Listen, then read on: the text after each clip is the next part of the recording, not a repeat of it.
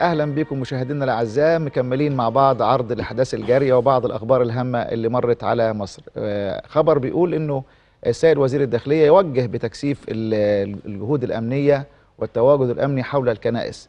كان قد عقد اللواء مجدي عبد الغفار وزير الداخلية اجتماعا مع مساعد الوزير والقيادات الأمنية المعنية في إطار استعراض محاور الخطة الأمنية التي وضعتها وزارة الداخلية لتأمين احتفالات المصريين خلال تلك المرحلة. واستعرض الاجتماع مجمل المتغيرات على الصعيدين المحلي والإقليمي وانعكاساتها على الحالة الأمنية بالبلاد. ووجه وزير الداخلية الشكر والتقدير للشعب المصري العظيم الذي ضرب أروع صور البطولة في التصدي لكل من يحاول الإخلال بأمن الوطن مسمنا على تضحيات الشهداء من رجال الشرطة والقوات المسلحة والمواطنين التي اختالتهم يد الغدر والإرهاب مؤكدا أن جهود الدولة ماضية لبتر كل من يحاول من أي من كان النيل من أمن البلاد وتهديد ودعم استقرارها ووجه اللواء عبد الغفار بتكثيف التواجد الأمني بمحيط دور العبادة المسيحية وتمشيط محيطها بالكامل بشكل متواصل بالتنسيق الكامل مع رجال القوات المسلحة والتواجد الميداني لكافة المستويات الإشرافية والقيادية لمتابعة سير الأداء الأمني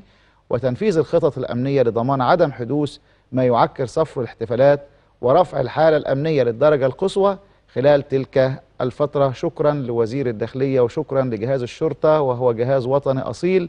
نسمن على ما قام به ويقوم به خلال هذه الفترة ونقدم الشكر من خلال برنامجنا إلى كل قيادات وزارة الداخلية.